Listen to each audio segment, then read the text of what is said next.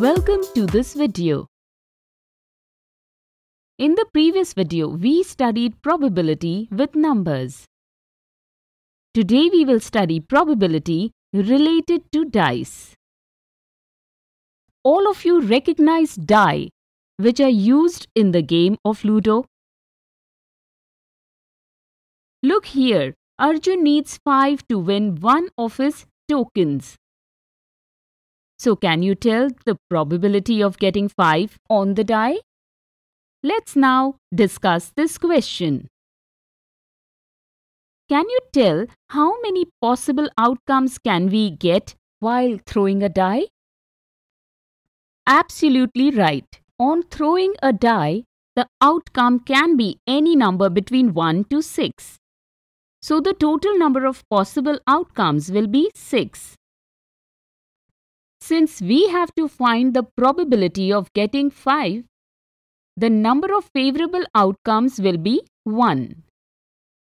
Let us find the probability of getting 5 by the probability formula with the help of the outcome obtained, which is 1 by 6 or 0.167. Can you now tell me what would be the complement event for this? And what will be the probability of this complement event?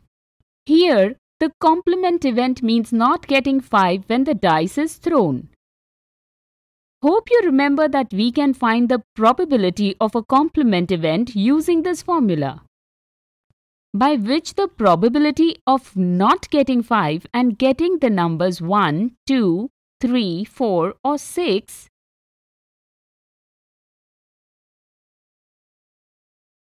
is 5 by 6. Now if you are asked the probability of getting a 0, what will you say? Pause the video and try it yourself. You can see that there is no 0 on any of the faces of the dice. So getting a 0 on the dice is an impossible event. And we know that the probability of an impossible event is always 0.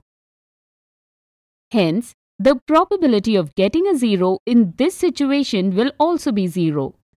Today in this video, we understood the probability while rolling a die. In the next video, we will understand the probability while rolling two dice.